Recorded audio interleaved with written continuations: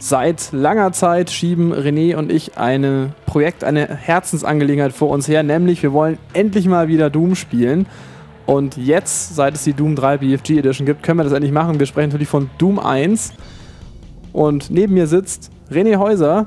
Servus. Hallo, grüß dich, Michi. Ja, ähm, Es hat fast so lange gedauert, wie äh, Doom vom Index zu kriegen, dass wir endlich mal ein Let's Play Doom 1 Ja. zusammen machen können. wir, wir wollten das ja erst mit der Xbox-Version spielen und haben gesagt, ah, schaffen wir nicht, kriegen wir nicht hin. Und jetzt gibt es das hier in der Doom 3 BFG Edition. Wenn man die kauft, dann ist das alte Doom mit drin. Du bist ein, der totale Doom-Checker. Rufname Doomian. Das fängt ja schon mal gut an. Ja, ich versuche äh, das Beste zu geben. Äh, wir starten einfach mal hier gleich in die erste Kampagne. Knee Deep into the Dead. So, machen wir es, was wollen. Was sind wir denn? Nightmare? Nee, Ich weiß nicht, du bist doch der totale Checker. Hurt Me Plenty. Ich glaube, das ist äh, Das unser ist Niveau. Mittel, okay. Ja. Auf geht's. Ah. Wir hatten erst überlegt, wir machen jetzt hier einen Speedrun, aber dann wären wir in 8 Sekunden durch und äh, das wäre irgendwie langweilig am ersten Level. Also spielen wir es ganz normal, versuchen mal ein paar Secrets wieder uns zu erinnern. Ich muss gestehen, ich habe jetzt wirklich seit drei, vier Jahren das nicht mehr gespielt. Äh, von daher bitte ich um Verständnis, wenn ich nicht sofort alles wieder finde, aber wird schon gehen. Ja, ich nehme jetzt hier die gleiche Rolle an wie wahrscheinlich ein Großteil der Zuschauer, die das hier sehen, weil es haben nicht mehr so viele Leute äh, gespielt, die jetzt noch am Leben sind. Ja, ja, Doom 1 ist ja von 1993. Also Gottes Willen. Was ist das jetzt? Hätte es gesagt 15 Jahre? Nee, 19 Jahre. Whatever. Long time ago in a galaxy far, far away. Ähm, und wir haben hier auch äh, einen Gast bei uns im Zimmer mit sitzen, der ganz verdutzt war und äh, mich fragte, wie ich spiele einen Shooter ohne Maus. Äh, ja, man kann Doom tatsächlich nur mit den äh, Cursor-Tasten spielen. Aber das kann man jetzt wieder mit Maus spielen. Kann man bringt, auch, genau. Es bringt nur nichts. man, ähm, Du müsstest sagen, wer der, der, wer der Gast ist. Achso, das ist genau, das ist der Under Serial. Der darf aber gerade nicht. Sebastian, du kannst einmal kurz reinrufen. Das, ist, das kann man hinterher, kann uns äh, niemand nachweisen, dass er das wirklich war. Ja. Das kann ein überleg- Statist gewesen Ich überlege gerade, irgendwie muss man hier hinten hin und normalerweise hört man das und dann muss man zurück. Ja, genau, das ist nämlich die, äh, auch hier der Imp gerade hergekommen und dann geht eine Tür auf. Eigentlich ist das ein sehr audiovisuelles Spiel.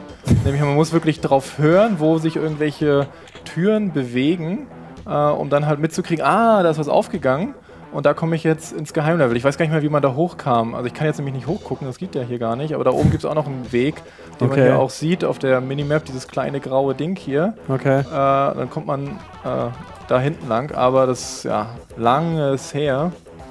Aber wirklich, wie du schon sagtest, großer Doom-Fan. Ich finde es immer noch einen der besten und spaßigsten Shooter überhaupt, die jemals entwickelt wurden und selbst gegen Call of Duty immer noch äh, ja, tausendmal besser sind. Yay! Erstes Level geschafft. Nee, ähm, warum der, wir den, den Under Serial erwähnt haben, der wird mich nachher ablösen in, in der Rolle des Unwissenden, weil das nämlich beide nicht großartig gespielt haben. Ähm, Ihr wart doch noch gar nicht geboren damals, oder? Stimmt, ja, nee. ich bin ja zwölfeinhalb. Das wissen die wenigsten. Das erklärt aber so manches. ja, natürlich. So, ich muss jetzt mal gerade mal gucken. Genau, das ist jetzt hier das zweite Level, in dem wir sind und äh, alleine die Shotgun, das ist ja perfekt. Der Sound, die, die, ich weiß nicht, es ist, so muss eine Shotgun klingen und funktionieren und ja, tut mir leid, äh, aber das können die neuen Spiele alle nicht. Und mit den tollen Explosionsfässern, wenn, wenn sich jemand fragt, warum es heutzutage in jedem Shooter irgendwie explodierende Fässer, dann, äh, ja, es liegt an Doom. Weil so ziemlich alles, was man heute in, in den Ego-Shootern kennt, glaube ich, wurde damals hier schon, äh, ja, Bis auf Grundstein. Hochgucken. Ja, das kam ja später. Wobei, in Doom war ja schon mal ganz neu gegenüber dem indizierten Vorgängerspiel von It. Ah, da dürfen wir immer noch nicht drüber reden. Ach doch, Wolfenstein 3D. Hieß es, da, da gab es nur ebene Erde. Und jetzt gibt es ja hier schon mal sowas wie Treppen. Ja. Was aber der totale Hölle war, äh, also das ist der eigene Modus, wenn man, man konnte dann mit Doom ja auch schon eigene Karten designen. Ja. Aber hier sowas zu bauen, eine Tür plus irgendwelche Treppen und das aus, dass man da nicht durchfällt und das irgendwie auch funktioniert und die Spielfigur rüberging, äh, tagelange Arbeit. tagelange Arbeit. Genau. Genau das nächste hier gibt es heutzutage in Ego-Shooter nicht mehr so viel, gab es früher aber ganz viel, so Keycards. finde äh, rote Karte, um rote Tür aufzumachen, finde blaue Karte, um blaue Tür aufzumachen, finde blauen Skull, um irgendwie Geheimeingang zu finden. Ähm, ja, auch alles in Doom äh, quasi das erste Mal zu sehen gewesen. Gab es denn diese Karte, die du da eben eingeblendet hast? Ist das ein, also gab es das im, im, Originalspiel auch schon? Ja. Ist das irgendwann dazugekommen? Okay. Das, äh, die Automap-Funktion gab es früher ja in vielen Spielen. Äh, also gerade in den Rollenspielen war das damals Aber, aber es war eher eine. Neuheit, oder? Weil es gab doch auch davor viele Spiele, wo du dir tatsächlich mit Stift und Papier die Karte zeichnen musstest. Das gab's auch, ja. Hatten wir gestern erst drüber geredet. Wir sind gerade im äh, Retro-Oldschool-Flair. wir hatten nämlich gestern äh, Ultima 7 äh, installiert und Ultima Underworld und haben uns darüber äh, unterhalten, also wir ist äh, Daniel und ich, dass früher manche Spiele mehr Funktion hatten als heute moderne Spiele. Nämlich in dem Fall konnte man, hier ging irgendwie die Tür auf, ich weiß nicht mehr genau, da kam man nämlich dann zu dem Raum mit der Kettensäge. Ah ne, das ist von der anderen Seite, hier kommt man aber auch in den anderen Raum rein. Ich weiß René spricht im Fieberwahn. ja, äh, Kettensäge, Kettensäge, wo ging die Kettensäge? ähm, ja, wie gesagt, das ist eben auch so eine ähm, ja, Soundsache, weil ich glaube, man musste irgendwo über so eine Platte rüberlaufen, dann ging das da auf. Egal, das finden wir schon noch. Na, jedenfalls hatten wir über Ultima geredet und da konnte man in diese Automaps Kommentare einfügen. Wie cool ist das denn? Da kann man sich halt markieren, was man da irgendwo vielleicht noch vergessen oder gefunden hat. Mhm. Äh, ich meine, Skyrim äh, hat sowas nicht mehr. Nee. Es wurde dann, glaube ich, bei den Elder Scrolls erst über irgendwelche Mods wieder hinzugefügt. Ähm, Aber das macht doch jetzt zum Beispiel ganz prominenten Dark Souls oder ein Demon Souls, dass das dann zwar nicht auf der Karte hat, aber da Oh, kannst du doch so Kill. Botschaften hinterlassen, mehr oder weniger, in der Spielwelt, aber auch für andere. Ich weiß gar nicht, ob in der Version, die in der BFG Edition drin ist, ob da auch der Multiplayer-Teil von dem Spiel drin ist. Weil Oh. irgendwas fehlt doch. Irgendwas haben sie vergessen. Ich hatte jetzt gar keine Möglichkeit, glaube ich, auszuwählen. In der Xbox-Version damals, äh, als das für Xbox Live äh, Arcade rauskam, also die US-Version, da war es in Deutschland auch indiziert, da war der Multiplayer drin, lief aber unglaublich beschissen. Also es hat geleckt und ge äh, es ging das gar das nicht. war auch eine Kunst, das Ja. hinzukriegen. Ey, es, zumal der Multiplayer so simpel wie er ist, äh, und war, glaube ich, nur mit vier Mann maximal und die Karten sind äh, ja ein Witz im Vergleich zu modernen Multiplayer-Shootern, aber es machte immer noch Spaß. Mhm. Nur leider war es so schwer damit zu spielen, weil das Ganze nicht flüssig ge- gelaufen ist. Jetzt, wie, wie war denn das? Also man musste hier hinten ist auf jeden Fall, oder muss man hier das Ding aufschießen? Nee. Ach, Ja. raufschießen, ja, so war's. Und jetzt kommen wir nämlich hier hinten hoch. Weil das war ganz nett gemacht. Ähm, wie das ganze Leveldesign, das ist ja vom Tom, heißt der Tom? Nee, John Romero hatte das, ne? John Romero und Tom Hall haben, glaube ich, hier das äh, Doom 1 äh, entworfen. Und man Ja. konnte hier, kann man schon reingucken und dann sieht man, oh, Kettensäge, aber man kam nicht rein. Also man wurde angeteased. Aber da oben ist doch die Kettensäge. Genau. Ja, wie kommt man da hoch? Äh, irgendwo ist ein Schalter. Irgendwo ist ein Schalter. Ich habe vergessen, wo der Schalter ist. Da ist ein Schalter. Da ist der Schalter. Ja, Michi fuchtelt hier ganz wild vom Monitor. Das sieht man ja natürlich im Video nicht. Da ist der Schalter, da. Ja. Ähm, und jetzt hier nächste Antwort. Warum sind in Ego-Shootern Kettensägen? Ja, weil es das in Doom gab. Warum war das indiziert? Weil da eine Kettensäge drin Ähm, war. Ja, es, genau, die Indizierung von Doom ist auch so eine, eine Geschichte voller Missverständnisse. ähm, denn das Spiel ist natürlich nach heutigen Verhältnissen Pillepalle. Ja. Also so vom Gewaltgrad und von den. Ich gucke gerade, weil hier hinten war noch irgendwo ein Geheimversteck, wo nämlich ein Backpack zu finden war, womit man ein größeres Inventar hatte. Aber Aber man hat ein begrenztes Inventar. ja, an so, Munition und gerade nachher so äh, für den Rocket Launcher war es dann schon recht hilfreich. Irgendwo hier hinten ist das, aber ich glaube, das war jetzt über eine Schalterfläche, wo man dann hier rein musste. Gott, René spammt die Benutzen-Taste. ja. Sieht man denn das auf, dem, auf der Karte, diesen Geheimraum? Teils, teils. Manche werden angedeutet, so mit braunen äh, Strichen, äh, manche gar nicht. Da muss man dann wirklich wissen, wo es ist. Äh, bei manchen ist auch nur, dass man von der anderen Seite dann sieht, hä, da führt irgendwas ins Nichts, das müsste doch wo rauskommen. Mhm. das ist doch hier das Ding. Ja, Ach, Mann. Das ist ja, das ist ja gruselig, dass sich so noch merken kann. Ähm, ja, Ja. jedenfalls äh, genau Indizierung von Doom. Und da kam vieles zusammen. Das eine war, äh, natürlich erstmal war Doom damals so der erste, nach Wolfenstein, der erste Ego-Shooter. Äh, und das war vielen sehr, sehr unheimlich. Aus der Ich-Perspektive rumlauf mit einer Waffe und auf menschenähnliche Leute schießen, das muss einen ja zum Massenmörder machen. Mhm. Das war einfach gesetzt. Das macht einen keinesfalls zum Vogelmörder, weil man kann ja nicht nach oben Ja. Schießen. Ja. Ähm, das war das eine. Und das nächste, was nachher dazu kam, es gibt ein Level, ich glaube, das ist das zweite oder dritte Level. Wenn man da die Minimap aufgemacht hat und alles äh, erkundet hat, dann hat sich ein Hakenkreuz ergeben. not so good uh, for Germany. ich glaube, im dritten Level ist es so. Das war eigentlich jetzt nicht, äh, also es gab dann auch Diskussionen, ja, die It-Leute sind doch Nazis, ne, machen sie Hakenkreuz in Doom rein. Nein, eigentlich war es nur eine Reminiszenz oder wie es so schön heißt, also an Wolfenstein. Eine, an Wolfenstein, also ihr erstes Okay. äh, großes äh, Projekt, wobei ihr Das erstes heißt, sie waren früher Nazis und jetzt erinnern sie sich halt. ja, genau. Oh, oh Vorsicht. ich ich sehe die Anwälte schon Schlange stehen. Das können wir im Laufe dieses Let's Plays auch erzählen. Es gab ja mal eine Zeit lang eine, eine Fehde oder eine Nimm nicht das. Beste schon vorweg. Äh, Ich muss ja teasern, dass die Leute diesen Quatsch auch weiter gucken. Eine, eine, eine Fehde zwischen GameStar und It. Zumindest ist das so die landläufige Meinung. Da können wir nachher noch ein bisschen was Ja. dazu erzählen. Gut angeteasert, gut Siehste? angeteasert. Ähm, ja, aber Indizierungsthema ging noch weiter, nämlich dann kam raus, oh, die US Army oder die US Marines haben Doom als Trainingssimulation zum äh, fürs Lernen, ja, für den Kampf äh, Mhm. quasi benutzt. Das stimmt auch. Sie haben tatsächlich auf der Doom-Basis oder auf der Doom Engine-Basis Das war ein Schalter. Ja. Soll man denn das rausfinden? Ach, kennt man alles. ähm, äh, jedenfalls hatten sie da tatsächlich was drauf entwickelt und, äh, und das haben sie auch zum Training benutzt, aber sie haben das eigentlich zum Absprache benutzt, weil im Doom das äh, erste, glaube ich, Spiel war, was eben so LAN-Support hatte und man mit vier Leuten gleichzeitig simultan in einer virtuellen Umgebung sein Mhm. konnte. Und das war natürlich Ja, so. Shit. Ähm, für das Militär und es ging darum, Koordination und Absprache zu lernen. Die Level sahen auch ganz anders aus. Ähm, Ich glaube, ein Level kriegen wir noch ja, hin. sind ja kurz. Ähm, und naja, jedenfalls war dann so, oh, wenn das Militär das benutzt, um die Soldaten auszubilden, na, dann muss das ja ein Tötungssimulator sein. Ja, bumm. Ja, nächster Punkt, äh, um sowas zu indizieren. Jedenfalls hatte Doom einen sehr lange, einen sehr schlechten Stand in Deutschland und äh, das hat sich mit Doom 2, was noch äh, etwas blutiger und brutaler und Doppel-Shotgun und da hast du nicht gesehen. Wie auch eine Doppelshotgun ist brutaler als eine normale Shotgun.